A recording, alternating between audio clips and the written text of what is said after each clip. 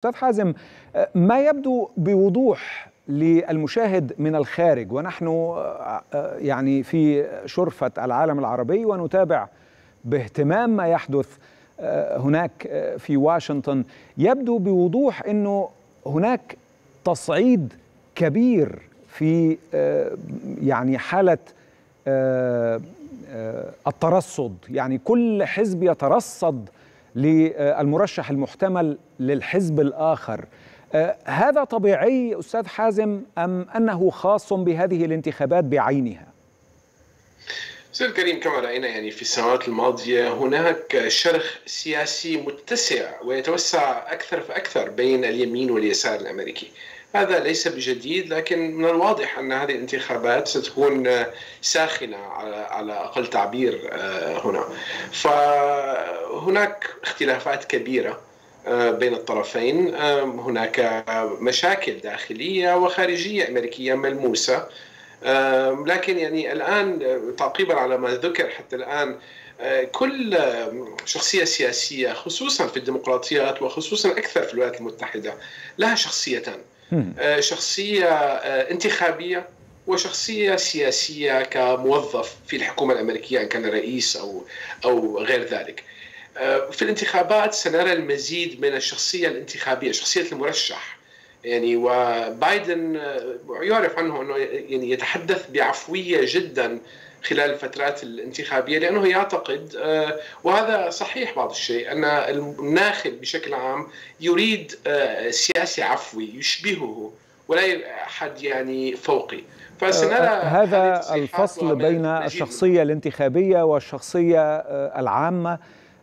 في نفس الشخص لافت للانتباه للغاية يا أستاذ حازم لكنه لا ينطبق على الرئيس السابق دونالد ترامب في تصوري دونالد ترامب يعني حالة منفردة يمكن ليس فقط في التاريخ الأمريكي لكن في في تاريخ الشعوب والدول. يعني كان هناك له شخصية مميزة جدا لكن كما رأينا الناخب الأمريكي بشكل عام أو جزء من الكتلة الناخبة الأمريكية أعجبته هذه الطريقة وهذا الأسلوب. وأعتقد أن يعني تصريح بايدن اليوم ليس عفوي بشكل كامل. هناك انتقادات مستمرة لبايدن أنه ليس الرئيس القوي.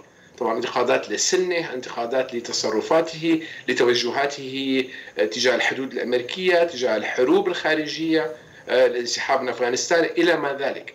فأعتقد أن سنرى أيضا مزيد من التصريحات النارية بعض الشيء من طرف بايدن ليظهر للناخب أنه ليس ضعيفا. وهو عندما يأتي الأمر لذلك ينازل ويستطيع المنازلة.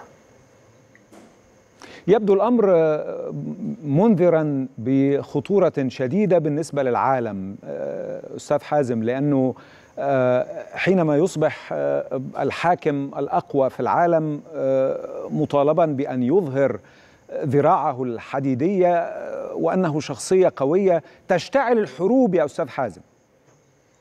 الحروب مشتعلة سيدي الكريم يعني إذا ننظر اليوم إلى الوضع الخريطة العالمية. هناك حروب مشتعلة كثيرة. من الواضح أن الحرب في يعني حسب حديث اليوم حرب أوكرانيا تسيطر على الجو العام. وفي الداخل الأمريكي أيضا هناك خلافات وهناك حوار مستمر حول الحرب في أوكرانيا. الصين أيضا اليوم معلومات خطرة جدا عن برنامج التجسس الصيني تجاه الولايات المتحدة. الوضع في غزة يعني لا يحتاج إلى المزيد من من الكلام. الشرق الأوسط بشكل عام البحر الأحمر. يعني أينما توجهنا اليوم هناك نزاعات كبرى. أعتقد أن هناك يعني اليوم فرصة ليس فقط هناك يعني خطر هناك فرصة لتغيير خريطة العالم بشكل إيجابي. الولايات المتحدة هي شريك ممتاز من أجل السلام. لكن نحتاج اليوم شركاء جديين خصوصا في منطقة الشرق الأوسط.